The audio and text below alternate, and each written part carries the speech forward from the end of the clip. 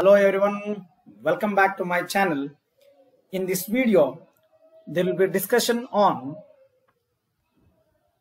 the meaning of input tax, input tax credit,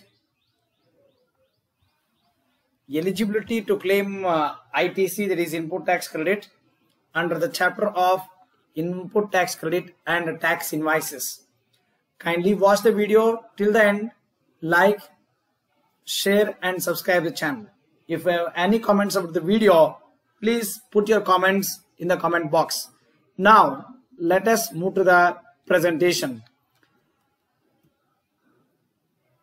The introduction of goods and service tax considered to be a milestone in the history of uh, taxation of India. The GST is the biggest reforms in India. It is single tax levied across India right from the manufacturer of the goods or services till it reaches to the end users. Under this indirect tax regime, there were multiple taxes such as central sales tax, the concerned state sales tax, then it was reformed into as VAT, excise duty, etc. And the GST subsumes the majority of the taxes. The very objective of introducing the GST is to avoid, is to eliminate the cascading effect and GST has become successful in elimination of the cascading effect to a certain extent due to the implementation of uh, GST here. In July 2017, GST brought with input tax credit provision which upheld, which helped in replace of the redundant taxation system with a better one. As GST eliminates the cascading effect, it is considered to be the backbone of taxation. Thus, input tax credit has the biggest advantages to the supplier of the goods, which will reduce their uh, tax liability on the output. Uh, on the output, the availability of the tax credit paid at every stage to set off the payment of the tax. Say, for example, the tax payable on uh, output is uh, assume uh, as a 500 and the supplier has paid the tax on the input say for example uh, 350 so his net tax liability will be only rupees 150 install so he can save whatever he has paid on the uh, tax on the input here. Hence input tax credit is said to be the backbone of the gst regime here. Now let us look into the meaning of this ITC here. Generally, the input tax credit means at the time of paying the tax on output, a dealer can reduce his tax liability which he has already paid on the inputs. This is what an exa another example which will uh, illustrate the meaning of uh, input tax credit here. Assume that the tax payable on the output that is on sales is rupees of 400 whereas he has paid rupees 250 as a tax on purchase of the in inputs. So his net liability of tax payable by him will be only rupees 150 here. And remember this input tax is always only on the inputs. The credit of the tax which uh, is available only on the the tax which is paid on the inputs. The capital goods are kept outside the purview of input tax credit here. So in a simple words to say, the input tax credit is nothing but the adjustment of the taxes against the tax which is already paid by the supplier of the goods here. Now let us look into certain definitions so that we will have uh, will come to the picture of this ITC. First of all, we need to understand the input which is defined by section 2 subsection 59 the input means any goods other than the capital goods are intended to be used by a supplier in the course or furtherance of the business. Let, uh, let us elaborate this definition. So when it is look into this definition, as already told here, the term capital goods, they are kept outside the purview of the definition of the inputs. Here inputs, usually these are consumable goods which will be used in the production in order to enhance or the furtherance of the business here. In other words, to say, the input is nothing but the raw materials purchased by a manufacturer in producing the finished goods. So that is what is called as inputs here. And these inputs are consumable in nature, which are which are of in the revenue in nature, in other words to, to say. So we can uh, draw a conclusion from this definition that the capital goods are are not under the purview of a section 2 subsection 59 and remember these goods must be used in the production suppose if the inputs are purchased for the self consumption in such case it will not be considered as the input so the inputs purchased by the supplier must be used in the manufacturing of the goods which ultimately leads to the furtherance the enhancement of the business now let's look into the another definition given by uh, given under section 2 subsection uh, 60 which defines the term input service. Input services means any services used or intended to be used by a supplier in the course or furtherance of the business. Here the term input service implies any services used by a vendor during the trade during his trade to create supplies outwards.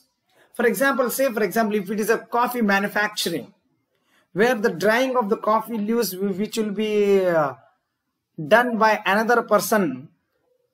So the manufacturer, the coffee manufacturer is availing the services of the person who you uh, who is going to uh, cure the coffee leaves by using the machines. Similarly, it may be like uh, packaging or maybe it may be like a branding of the goods. So when the person avails the service of another person here, it is nothing but the input services availed by the supplier of the goods here. Then the term capital goods, which is defined in section 2, subsection 19, which states, it capital goods means the goods, the value of which is capitalized in the books of accounts of the person claiming the input tax credit and which are to be intended to be used in the course or furtherance of the business. It refers to mainly with the machinery which will be purchased by the manufacturer and which will which is shown as an asset in the balance sheet of the supplier. In other words, it is not a revenue in nature the amount of the purchase of a machinery will not be debited to the profit and loss count. It is shown as an asset and the depreciation will be charged to the revenue uh, to the revenue account here. In other words, to, to say the capital expenditure incurred by the supplier will be amortized year by year when it is put to use in the business year. So the capital goods are those goods whose amount will be capitalized in the books of accounts of the person claiming the input tax credit. And such machinery must be or such capital assets of goods must be used in the in the course of the business or furtherance of the business here. Then the one more definition uh, with respect to the input tax which is defined under section 2 subsection 62 here input tax in relation to a registered person means the central tax, the state tax, in the integrated tax or union territory tax charged on any supply of goods or services both made to him. So one thing it's very clear from this definition that the term input tax is always re referred with a registered dealer. In other words, to say only the dealers who are registered under the GST Act of 2017 are eligible to claim input tax credit on the inputs. And such input tax includes the integrated goods and service tax charged on the import of the goods. When a supplier imports the goods from a overseas country, in such case he is supposed to pay the IGST. And even that on IGST, uh, he can claim the input tax credit. Then the tax payable under the on a reverse charge basis. Here where usually the supplier is supposed to pay the tax but whereas here the recipient of the goods will uh, will have to pay the tax here to to substantiate this one here suppose a person who is engaged in the e-commerce business the customer place an order with the e-commerce supplier and whereas he gets uh, from takes help of the e-commerce to deliver the goods to the customer. So here the tax is to be paid by the recipient of the goods not by the supplier. In other to, to say the uh, the e-commerce person uh, sorry, uh, the, uh, the vendor himself should raise the invoice in the name of the recipient and who has to uh, bear the burden of the tax here. Then the tax payable under the provisions of section uh, 7 subsection 3 and uh, section 7 subsection 4 of the Union, Ter Union Territory Goods and Service Act. So all these in, in such case this input tax includes all these things here. But however, the term input tax is not referred to the tax paid under the composition uh, scheme. Why? Because the composition dealer will pay the tax not as per the rates which are prescribed like a 5%, 12% like this. So he will be paying 2 to 3% on the total turnover if his turnover exceeds 1.5 crores. So a composite dealer is one whose will be uh, whose turnover exceeds rupees 1.5 crores for a year he can register under the composition scheme. Now let's continue with this uh, certain other more definitions here. Input tax credit here. Section 2 subsection uh, 63 the input tax credit means the credit of the input tax. In other words to, to say it is a reduction of the taxes paid on the input from the taxes to be paid on the output. This which we have just now uh, discussed in the earlier two examples. Then the next one comes here as section 2 section 67 which defines the term inward supply as the receipt of goods or services or both whether by purchase or acquisition or any other means with or without consideration so in other to say it is supply, it is the receipt of the goods or services or both by purchase. That means a certain price will be paid or by acquisition or by any other means with or without consideration. Even the barter system can also be considered here. Even it is exchange of goods for goods can also be considered here. Or it is even the outright purchase it can be considered then the next one comes here, uh, section 2, subsection 82, which defines the term output tax. In a very simple or to say, it is a tax which is payable on the output that is the sales. The output tax in relation to taxable person means the tax chargeable under the GST Act on taxable supply of goods or services are both made by him or his agent but excludes tax payable by him on reverse charge basis. So it is the amount of the tax which is paid on the sales or uh, on the sales. So such tax is called as output tax. Then a taxable supply under section 2 subsection 108. It refers to a supply of goods or services or both which is leviable to tax under GST. That means, in other words, to say, a taxable supply is a supply which is valued as per the provisions of the GST Act of 2017.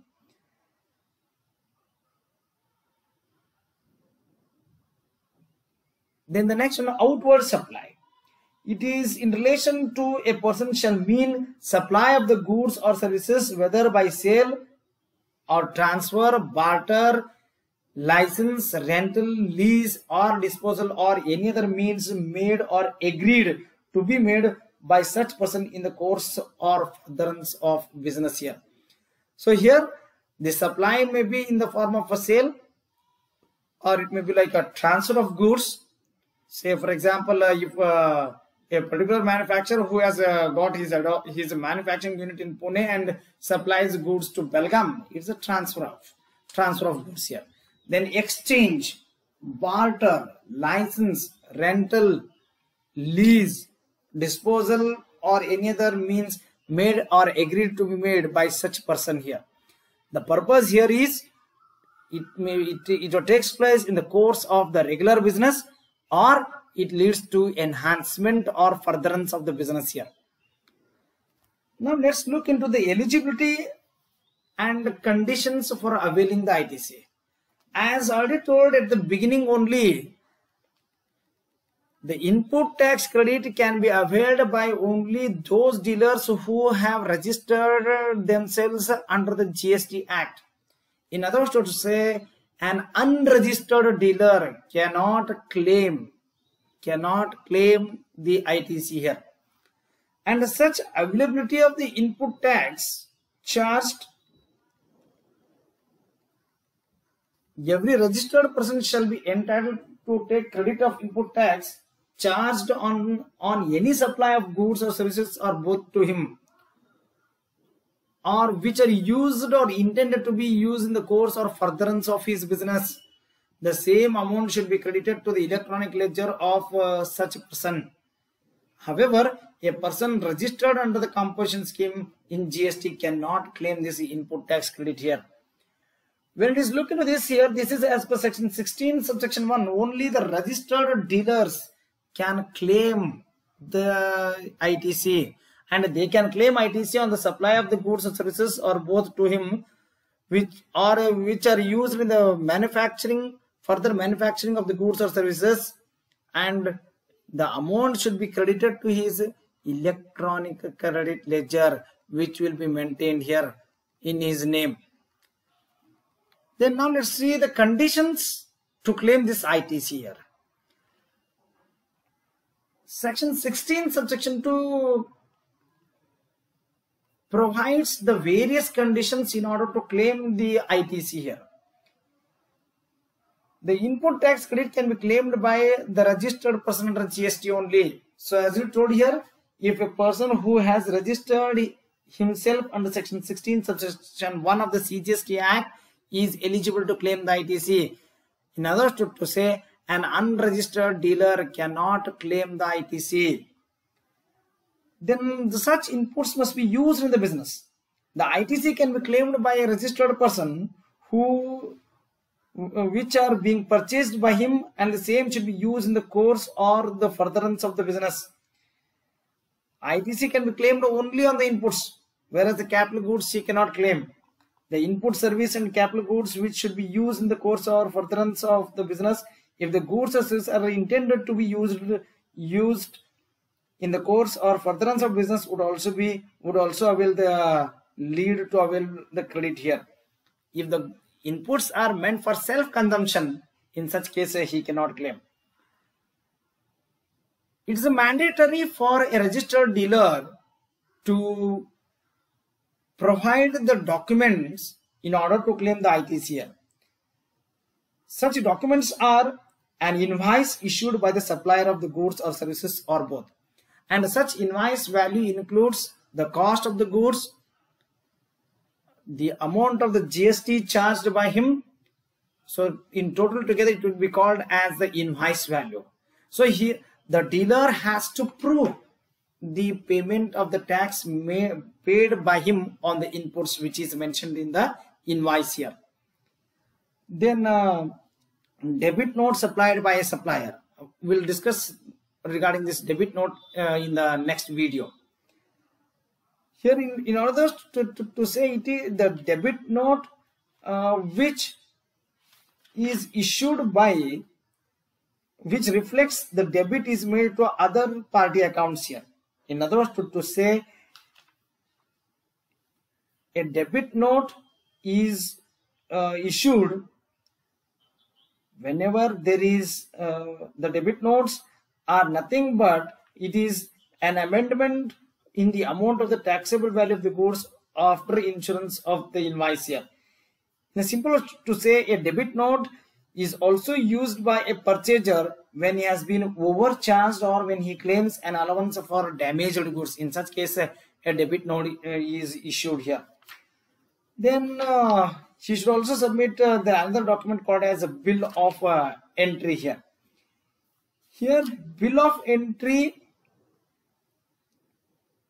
of course, we'll have a detailed discussion uh, in the subsequent, uh, in next video then the credit note issued by the by the input service provider here so if he submits these documents that is invoice if he has any debit note bill of entry credit note if any so if he submits all these things here all these documents then he is eligible to claim the uh, input tax credit.